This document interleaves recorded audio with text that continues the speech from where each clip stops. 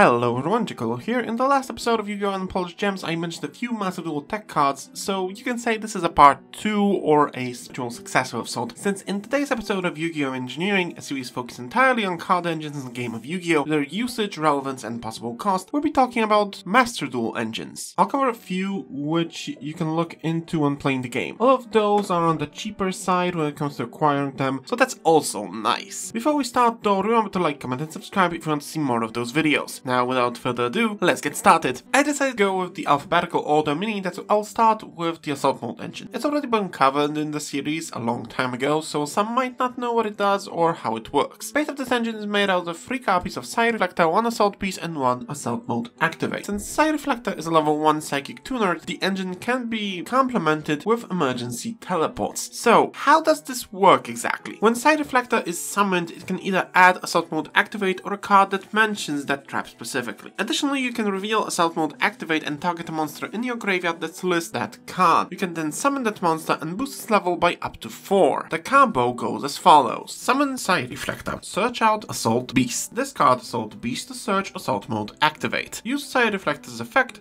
to summon back Assault Beast. This little interaction gives you access to a number of synchros due to its flexibility in level modulation or a link 2 play. The issue that might come up with this engine is the amount of garnets you're required to play. It's easy to set this up, but if you draw either Beast or Assault mode activate, then the engine kinda crumbles. With Beast you can still recover, but you just won't be going plus one. Drawing Assault mode activate is much more devastating. When it comes to the cost of this engine, all cards are res from the Mode Change Secret Pack. Should you want to use Emergency Teleport as well, please remember it's a super rare from the Master Pack. When it comes to usage, I think anything Synchro focused should get their hands on this engine. Mostly due to its flexibility and also having a one card Synchro is very nice. The next engine also has been covered in the series before, in the third episode no less. God, it's been a while since I last talked about Fluffals. Anyway, it's a very interesting draw engine. It's made out of three copies of Wings, Bear, and Toy Vendor. It can also be complemented with copies of Fluffal Dog and Dolphin. It works out by turboing out the engrave effect of Fluffal Wings, which allows you to banish Wings and one other Fluffal monster in order to draw a card. Afterwards, you can send a face-up Toy Vendor to the grave in order to draw an additional card. This prompts Toy Vendor's effect to trigger as a part of a new chain so it can add a Fluffal monster from your deck to your hand. This makes an engine a plus one in card advantage at least and is basically a draw 2 search 1 effect. Most people playing this game will tell you that anything that can give you free cards is good and should be played. However, this is not the case with this engine. It all boils down to the size. At lowest, the Fluffal engine is made out of 9 cards, at most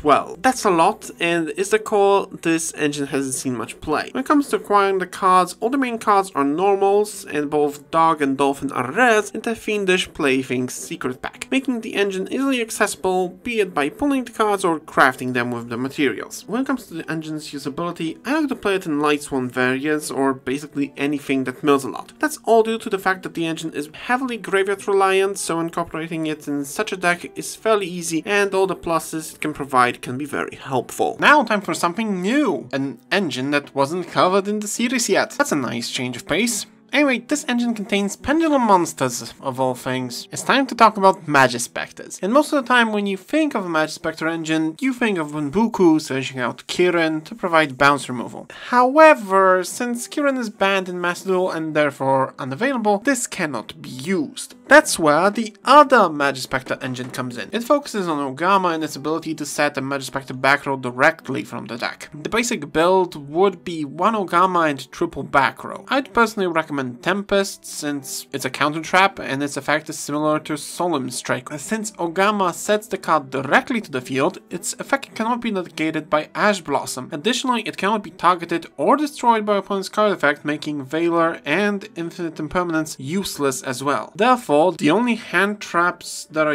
used in the metagame that can negate that effect are Herald of Orange Light and PSY-Framegear Gamma. In short, summoning Gamma in any way provides an additional disruption, with your opponent being unable to prevent that. Not only that, but since Ogama is a pendulum monster, it can be easily summoned again and again and again, being an endless supply of disruptions. That fact is also the engine's biggest weakness. Due to Master Rule 4 making it so pendulums can only be summoned to either the extra monster zone or a zone a link monster points to, the recurring capabilities of the engine are heavily limited. Not only that, but also there's an issue regarding the advantage. The engine at first is a simple plus 1, which is good when it comes to card economy. However, most of Magispect's spells and traps require a tribute of a wind spellcaster as cost, making them 1s. In the grand scheme of things, uh, it's a 1 for 1. When it comes to usage, I recommend Pendulum decks, obviously, so you can resummon Ogama and gain even more advantage with that play. When it comes to getting all the cards, it's not that hard since Ogama and the back row cards are either normals or rares from one of two sets, be it Legacy Pack, which actually success, or Advanced Warrior Secret Pack. Due to rarity, getting your hands on those is still extremely easy. And now we're back to the engines already covered in the series. Timelords are the final engine in this episode, a series of level 10 fairy monsters, most of which are normals or rares in the impending Assassination Secret Pack, except for one card which is a super rare. Timelords have a great variety of effects. The engine can provide the following, either mass bounce, monster removal with Metaion, mass spin, back row removal with Zaphion, non-targetable spot spin removal with Kamion, or mass spin removal with Gabrion, for a measly cut of a battle phase and most likely a normal summon. At this point you might be wondering how does the engine work? Well, it's quite simple. With the help of Time Maiden, which is the super rare, you can search Timelord directly from the deck. It can be any of the ones mentioned previously or one of those more focused on the burn. The sheer flexibility of the engine cannot be ignored. When it comes to build, it's mostly one or two maidens and one or two Timelords. It actually depends. However, if you don't have the resources to craft the super rare Time Maiden or you don't have the gems to get the pack, you can still use Timelord as spicy tech, since those are rares and normals. With this timely matter, I'm concluding today's video. I hope to learn something new and the engines I talked about were something you were looking for. With that, I will see you all in the next video.